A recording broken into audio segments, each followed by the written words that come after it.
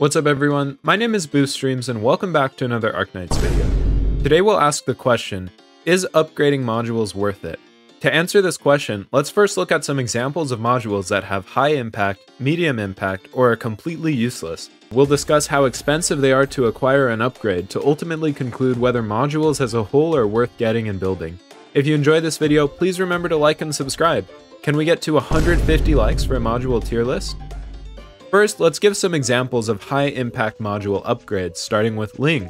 Generally, the effects of upgrading modules to level 2 and 3 are not limited by the branch, which are why they can be really good. Ling's module at level 1 allows her to hold plus 3 additional dragons, and dragon deployment costs are reduced. It also provides an extra 100 max HP and 30 attack. This is an incredibly impactful module, and without it, she is a lot less viable, unless she is used with a Vanguard. But what about upgrading to level 2 and 3?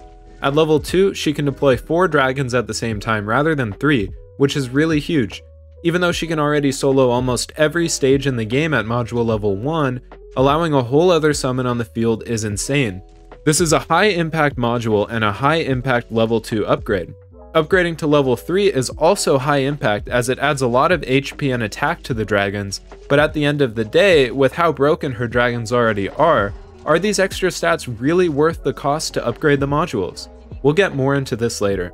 Mostima's level 1 module is good, but not highly impactful. It gives her 51 attack, 5 attack speed, and minus 8 DP cost. For a high DP cost operator like Mostima, this reduction in DP is quite nice, but upgrading her module is where things get spicy.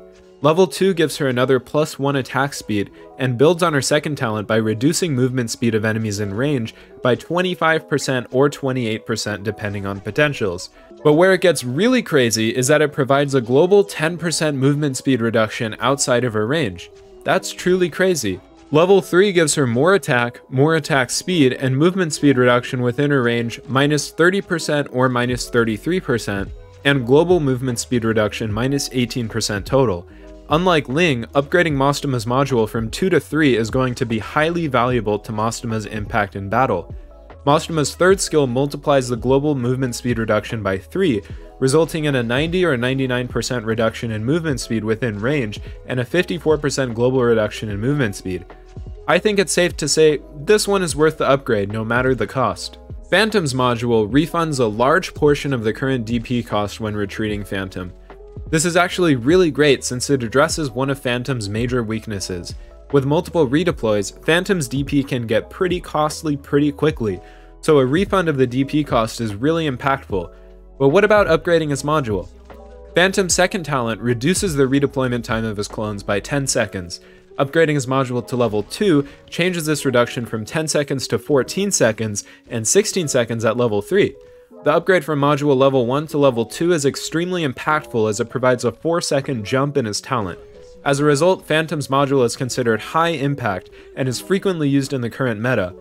But you might want to hold off on upgrading to level 3 if you are conserving your resources, as it does only provide a 2 second jump in his talent and an extra 11 base attack. So, since it is much less significant than the jump from level 1 to 2, level 3 is probably not worth it unless you're going full meta. There are also some medium impact upgrades to modules. For example, upgrading Nearl the Radiant Knight's module only gives her increased base stats and defense ignore for her skills.